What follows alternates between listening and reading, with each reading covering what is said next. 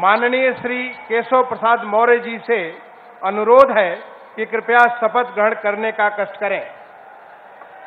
मैं मैं केशव प्रसाद मौर्य ईश्वर की शपथ लेता हूँ कि मैं विधि द्वारा स्थापित भारत के संविधान के प्रति सच्ची श्रद्धा और निष्ठा रखूँगा।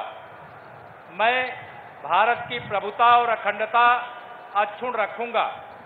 मैं उत्तर प्रदेश राज्य के उप मुख्यमंत्री के रूप में अपने कर्तव्यों का श्रद्धा पूर्वक और शुद्ध अंताकरण से निर्वाहन करूँगा।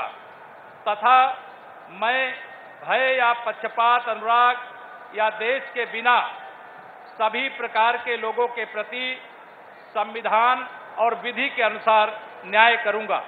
मैं मैं केशव प्रसाद मौर्य ईश्वर की शपथ लेता हूँ कि जो विषय उत्तर प्रदेश राज्य के उप मुख्यमंत्री के रूप में मेरे विचार के लिए लाया जाएगा अथवा मुझे ज्ञात होगा, उसे किसी व्यक्ति या व्यक्तियों को तब के सिवाय, जबकि ऐसे उप मुख्यमंत्री के रूप में अपने कर्तव्यों के सम्यक निर्वाहन के लिए ऐसा करना अपेक्षित हो, मैं प्रत्यक्ष अथवा अप्रत्यक्ष रूप से संसूचित या प्रकट नहीं करूँगा।